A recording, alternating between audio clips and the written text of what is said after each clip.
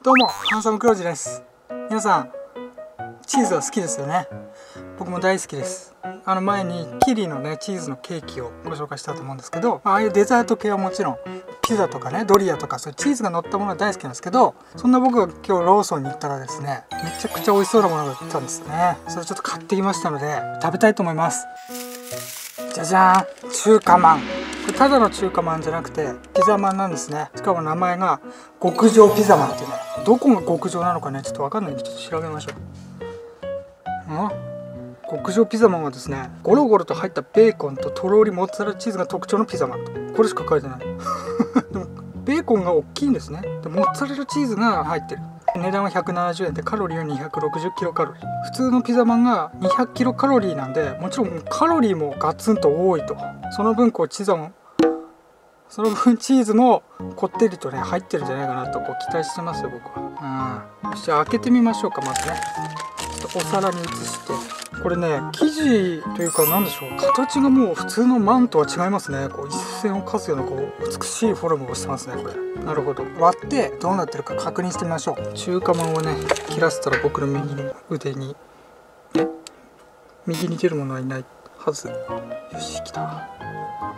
シュークリームとかね中華まんを切るときはねこう最初優しく切るんですよね。これが大事ですね。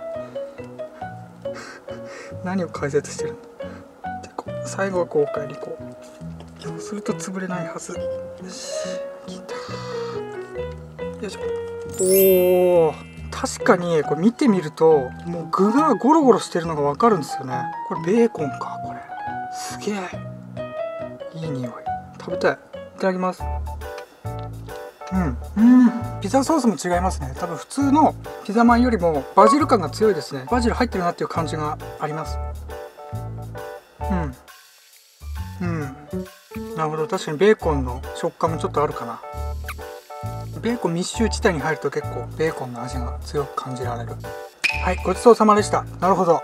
僕ねちょっとねピザにはちょっと厳しいところがあるんでピザマンはねもうピザとは違うものとはいえ一言言わせてもらうともうちょっとねチーズ感欲しいですね。やっぱり極上っていうくらいですからモッツァレラチーズの味は確かにするんですけど、まあ、もっとあってもいいかなと。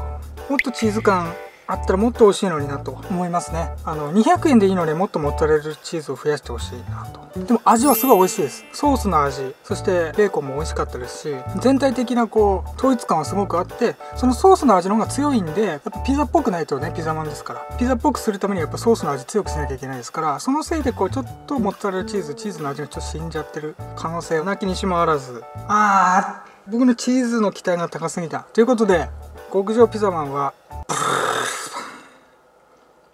7ハンサムです。ありがとうございます。